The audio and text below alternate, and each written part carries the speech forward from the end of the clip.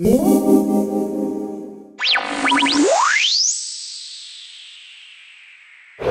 I'm Marshall Chang from NRC Nokia Research Center, um, and I'm out of, working out of the Beijing lab.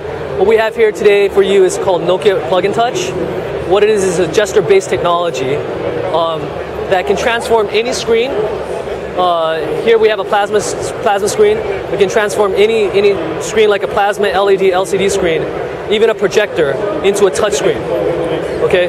So what we have here is a simple setup. We have our N8 connected to this TV through an HDMI cable. We've installed a small little application, very small, it's 38 or 34 KB.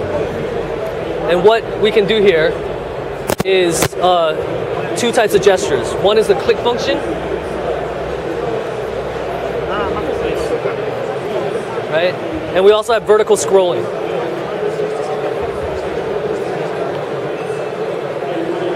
And uh, this is important because we're trying to figure out how to take the touchscreen experience away from the touchscreen. Right? And why is that important? It's important because we need to, as we see more development in like augmented reality, um, even 3D UI, right? Um, we're gonna need to figure out how to leverage the sensors of the camera to track gestures so that we can interact with the content or the surroundings that we're that we're in.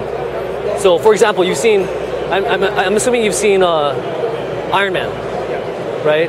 You know, in his lab, he has like these 3D things and he's interacting in the air. One day, one day, I'd love to see this. Right, right? We have a device pops up a UI in the air that we can interact with.